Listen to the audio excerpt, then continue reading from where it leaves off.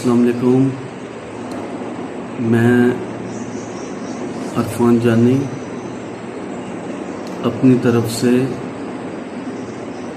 और अक्टूबर की तरफ़ से तमाम मीठे मीठे इस्लामी भाइयों को उनकी चालीसवीं सालगिरह पे मुबारकबाद देता हूँ।